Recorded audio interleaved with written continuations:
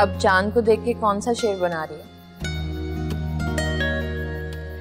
अभी बना नहीं है। जब बनेगा तो सबसे पहले आपको सुनाऊँगी। बाय द वे आपकी मैडम फारूकी बहुत मेहरबान है आप पे। वजह क्या है? अब हर चीज़ की वजह होना ज़रूरी तो नहीं है। वो एक शफीक खातून है और बस। खैर आज तुम्हारी पप्पू ने रिश्ते की बात की है। आपको किसने बताया? मैंने शगुफ्ता आपा और भाईजान को बात करते हुए सुना था। वो कह रहे थे कि कि सफ़ी आपा रिश्ता लेकर आना चाहती है। पप्पू ने मेरा नाम लिया क्या?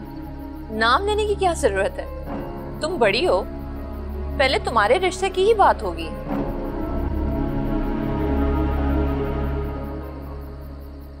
हाँ बनता तो है। और वैसे भी तुम्हारी पप्पो तुम्हें कितना पसंद करती है। नूर के साथ तो उनकी बनती भी नहीं है। मुझे पूरा यकीन है कि वो रिश्ता तुम्हारे लिए ही लाएँगे। और आपा भाईजान से ये भी कह रही थी कि एक आध दिन में भाई को बाकायदा रिश्ता लेने के लिए आएँगी।